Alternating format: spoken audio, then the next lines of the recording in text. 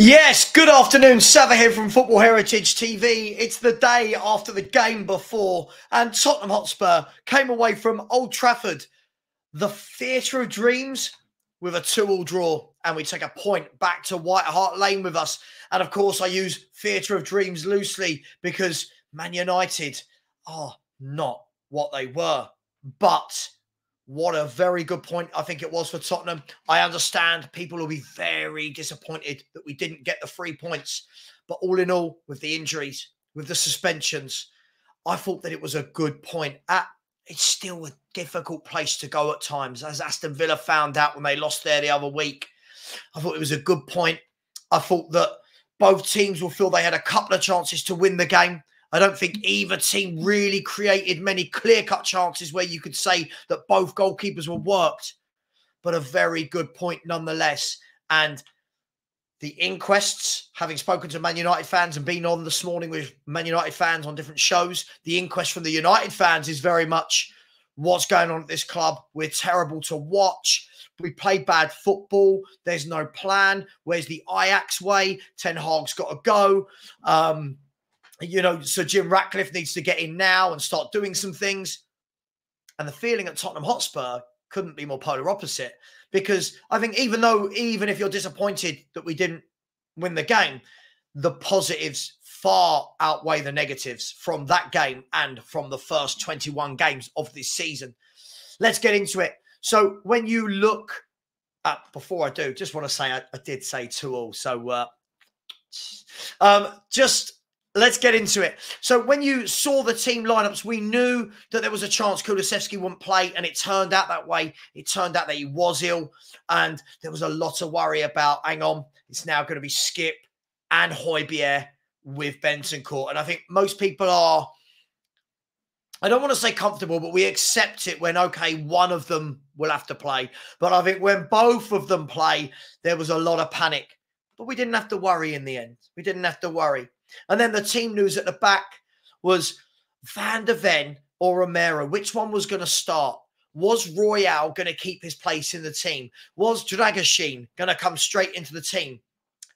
And none of that happened. He chucked both of them in together, Van der Ven and Romero. Van der Ven been out since November. Romero's been out for about five weeks or so, maybe a bit more if I if I remember rightly. But both players came in to play together, which for me was a tiny bit risky.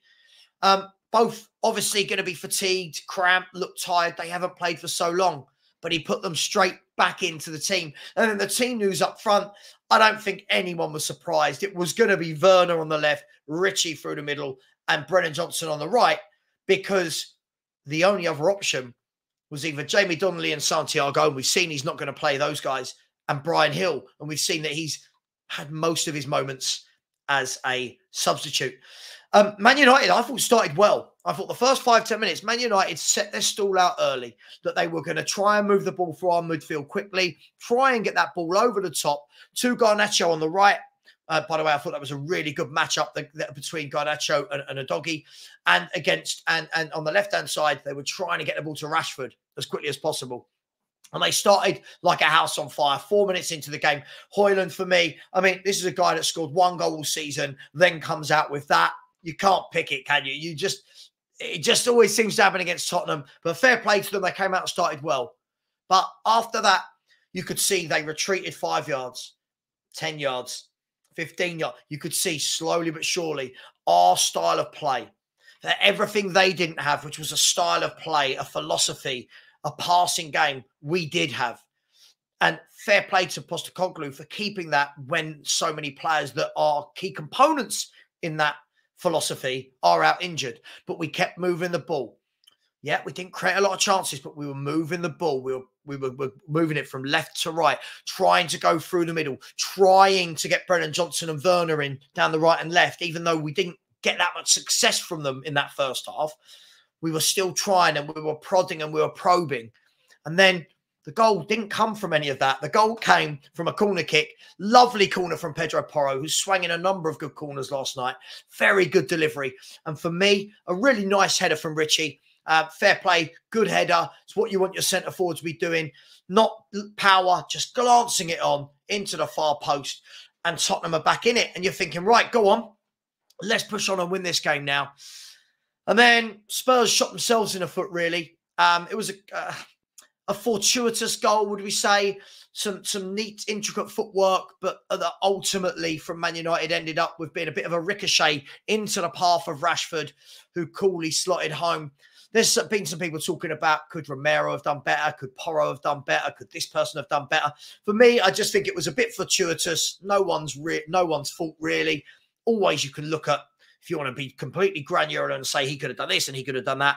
But they had targeted us down that right hand side all game. They knew Brennan Johnson wasn't really going to offer any support to Porro. And Marcus Rashford got his just rewards 2 1 at half time. And you're thinking to yourself, what can we do here at half time? And there wasn't really a lot. There wasn't really a lot on the bench. So unless it was bringing on defenders, there wasn't really anything we could do. And you're thinking, right, stay in the game for the first five, ten minutes of the second half. Don't go 3 1 down away at Old Trafford.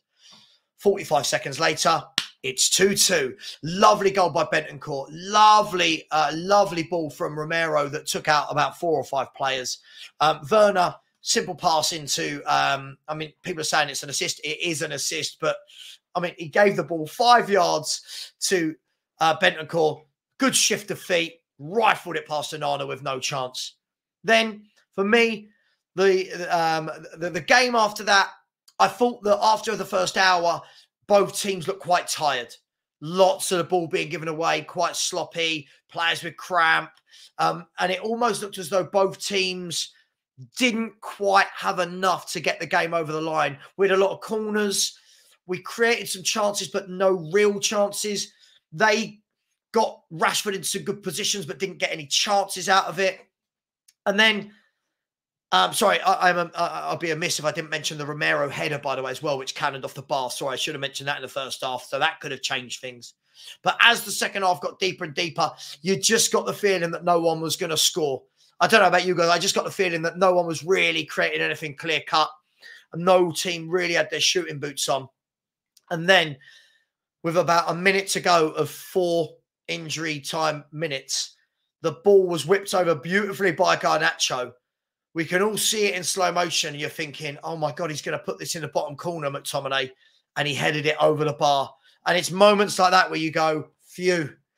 All in all, I will say a, a, a good performance. I'm not going to go overboard about it. It was a good performance in terms of possession, keeping the ball. Um, we looked superior to them from that aspect. I think we saw uh, we saw them set out their stall. It was going to be long balls over the top. They continued to do it every pass from Bruno Fernandes was was trying to find them in behind. Um, and ultimately, neither team got the three points that they wanted. But some good football we played in patches. Um, I'm not going to go into digging out players or praising players too much, but I will say that Bentancur was was fantastic. Um, looked tired towards the end, which is understandable. He's had a year out, but a really nice pass for the football. Looks like a cool, calm, collected player in and amongst some madness in that midfield. But I do think the two all, both teams could make claims that it was fair. If we had nicked it, I think it would have been fine. I don't think they should have nicked it, but they did come closest to nicking it. But a good point away from Old Trafford. And the reason I've said so many positives are Van der Ven's back now. Romero's back now. James Maddison's back in training. Uh, Bentancur now has played a few games in a row after his two horrific injuries. Uh, Bissouma, Sarr, they're going to be back from the AFCON in a couple of weeks' time. Son, depending on how well South Korea do, he'll be back in. And, you know, for me, there's so many positives. I like what we're adding at the back. Don't get me wrong, I think there's work to be done at the back. I do. I don't think our defense is as good as everyone thinks, but it's getting there. It's much better than it used to be.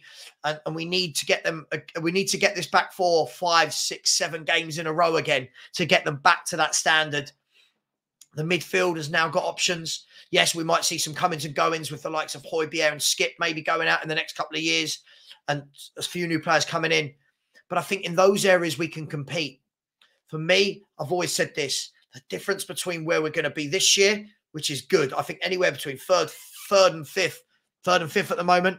Um, I think we've pulled away from the West Hams, we pulled away from the Brightons, the Chelseas, and the Man Uniteds, and barring disaster, we should finish in that top five. Can it be fourth? Can it be third? It could be. I think it's going to be a good tussle between Spurs, Villa, and Arsenal for third, fourth, fifth. For me, what I would say, and people will take this negatively, it's not. For me, I think if you do want to go to that level, if you do want to compete with City and Liverpool, got to buy better forwards. Sonny, yes. The rest are just not quite good enough. I think they're good enough if you want to finish fourth, fifth, sixth, seventh. I think that's fine.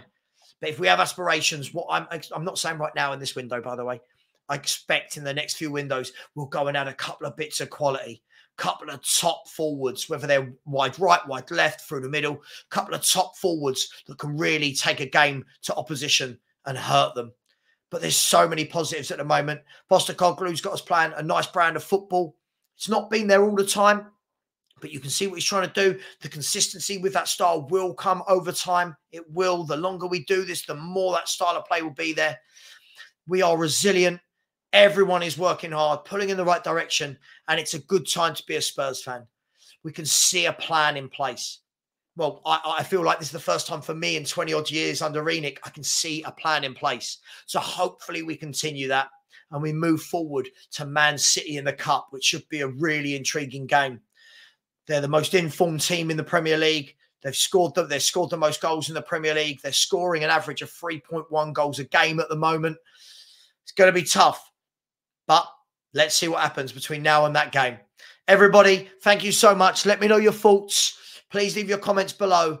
And as always, come on, you Spurs.